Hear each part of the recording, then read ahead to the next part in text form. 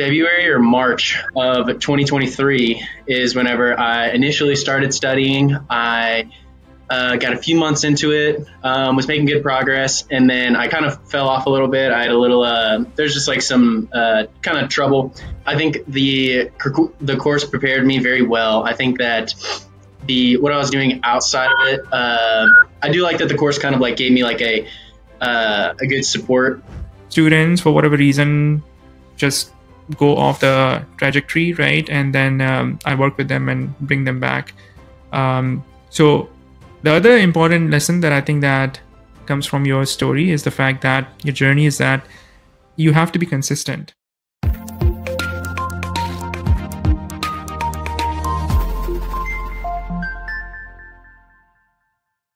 Hi, Chris. Hi, Wasim. How's it going? Uh, pretty good. How about yourself? I'm doing very well. You are done with your Christmas shopping, holiday shopping already? I am just a few more things. Um, I need to pay just like small stuff like candy. I'll throw in with uh, some other stuff just to support the other gift, but I'd say like 85% done. Accessorize it a little bit, right? Yeah. cool. So, Chris, um, 2024 has been a great year for you, right? You got your FE exam done uh, in first attempt, correct? With me? Mm-hmm. How was your FE exam preparation journey? That's basically what we're going to be discussing in this interview. So, if you can give me a brief overview when you graduated, when you started thinking about FE exam prep, and when you got really started with it. Yeah. So, I uh, graduated in, I think, July of 2022 from University of Louisville. And then I started working at a power company um, pretty soon after I graduated. And then for the rest of 2022, I kind of took a break from school a little bit and just focused on work. Um, I knew that FE was kind of something I wanted to do, but I was just taking a little break. So then I waited till I think February or March of 2023 is whenever I initially started studying. I uh, got a few months into it, um, was making good progress, and then I kind of fell off a little bit. I had a little, uh, there's just like some uh, kind of trouble in uh, just with uh, in my personal life a little bit, and then I kind of fell off for a few months, but I didn't necessarily forget about it, and then. Um, and I do appreciate, I do remember uh, you you kind of reaching out, kind of asking like, "Hey, how's it going? What's up?" Um, I see you're in the course. I have you, you know, you're kind of looking for progress updates, and uh, I do appreciate that. And then that was kind of, I guess, one of the things that kind of spurred me. I was like, man, maybe I really should just uh, get back into it. I mean, if I now would be the best time to do it. Um, so then, um, after taking a little time off to kind of collect myself, I uh, went back. I got back into the course. Um, I I think the the course prepared me very well. I think that the what I was doing outside of it, uh, I do like that the course kind of like gave me like a uh, a good support to uh, what I needed to study. Um, whenever I was kind of doing it on my own a little bit, I felt like there was the uh, a lot I didn't even know was going to be on the test, and I didn't. Uh, I had no way of knowing. But in the course, it was like um, it was all kind of like brought together. There were good resources, good videos. Um, so then I started back studying towards the end of 2023, and then in uh, 2020, beginning of 2024 is whenever I really kind of started uh, leaning on the gas pedal a little bit.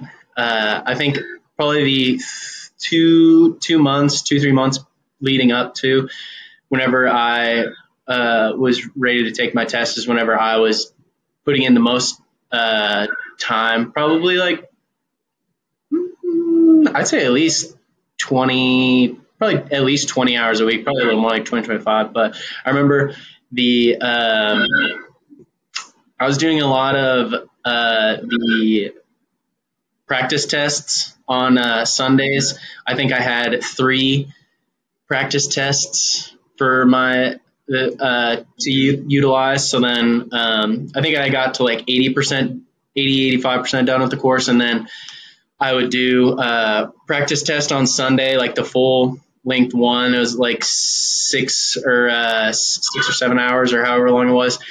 And then I would do those on Sundays. And then the uh, week I would kind spend going over my answers. And then the sections that I didn't do that well on, those are the ones that I'd go back and review in the course.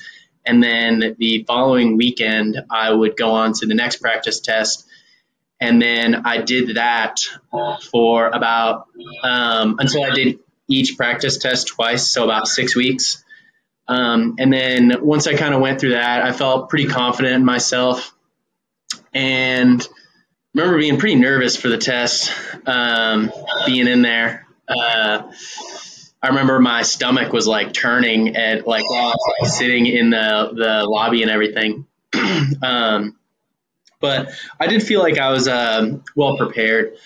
Mm, there's like a lot of resources in the uh, the materials, and it's uh, hard to like it's hard to soak up all the all of the material. But I think if you go through everything, um, you'll soak up a lot more than you think, um, and you'll kind of be going through questions and tests, and you will have at least seen everything. Like you won't uh, questions won't come up and that are just completely out of the blue.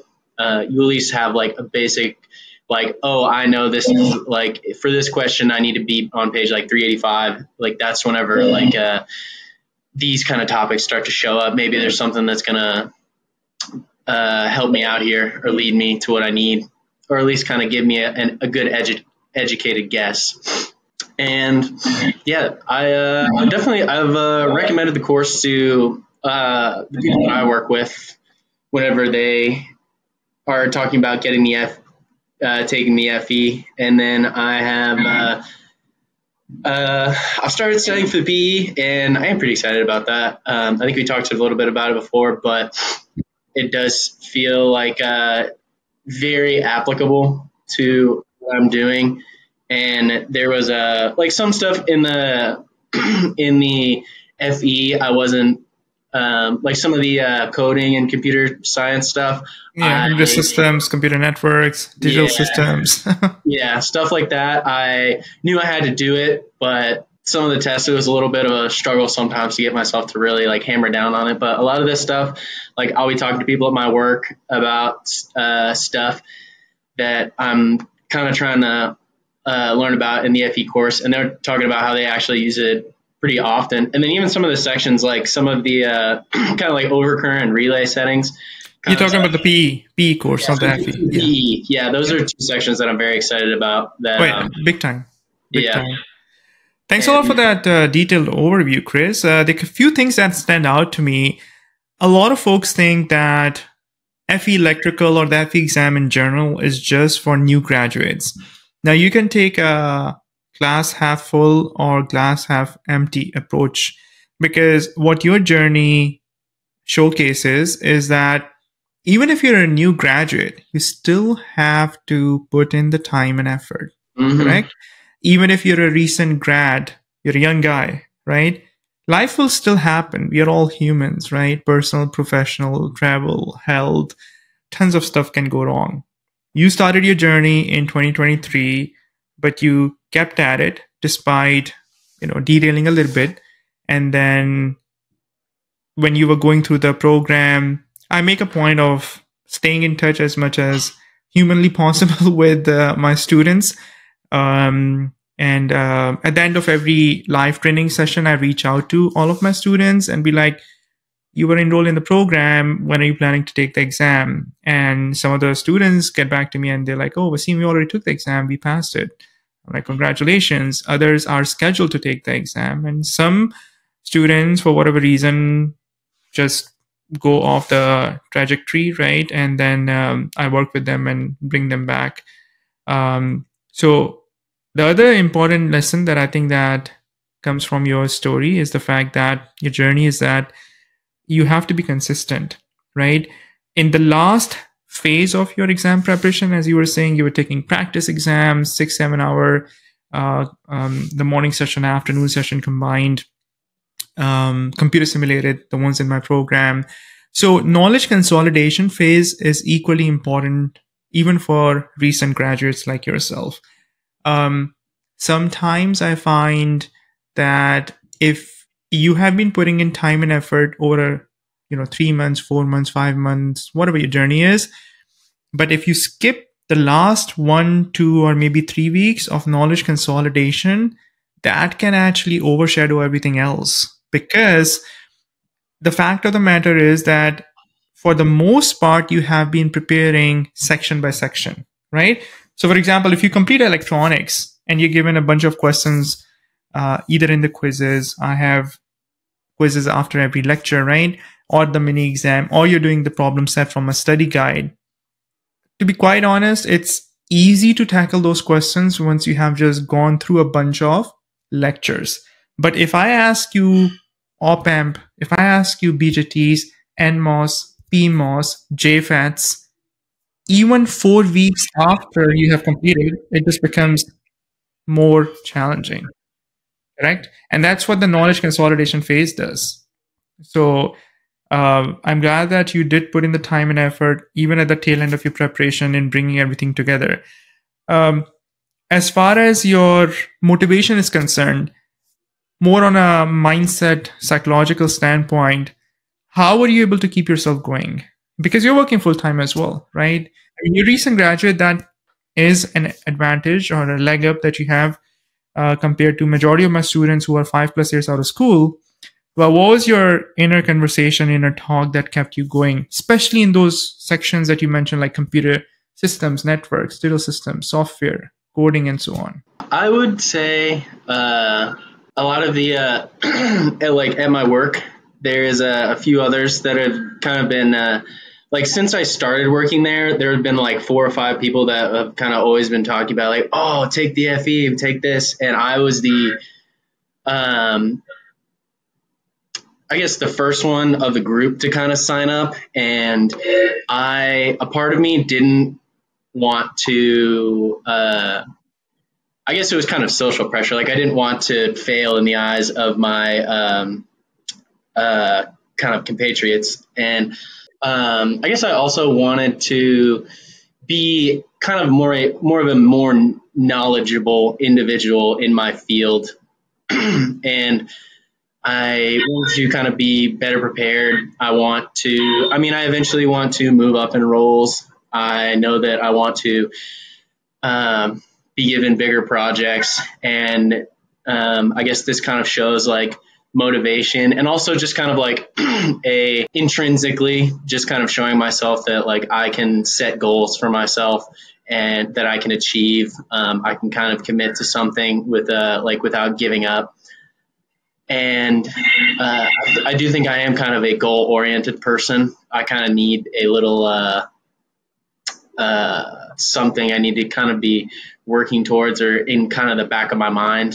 And uh, that was kind of the thing that I had set uh, for myself, especially whenever I'm uh, like, if I go do anything like athletic, like with headphones, like if I'll go on like a run or something.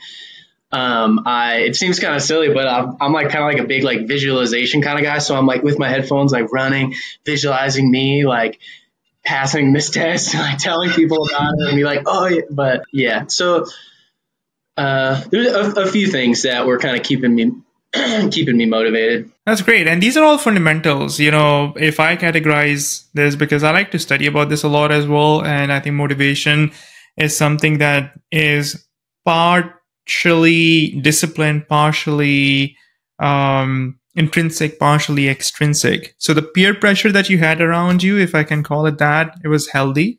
It was a positive peer pressure, sort of a healthy competition. Um, secondly, proving it to yourself that you are cut out to get this done. And also incentivizing yourself that, listen, I want to improve my skill set, right? Did part of your undergraduate studies get affected by COVID? Because I think you belong to that group, right? You graduated in 2022. So I'm assuming that at least a year or two, it was basically off campus, correct? Online? Yeah. I think most of a lot of my junior year was uh, through uh, kind of video classes, and then we like come in for tests, and we had to sit like like it's like an auditorium of like uh, 200 seats, but there's only like 15 people in there, so we're all like sprinkled. Yeah. Yeah.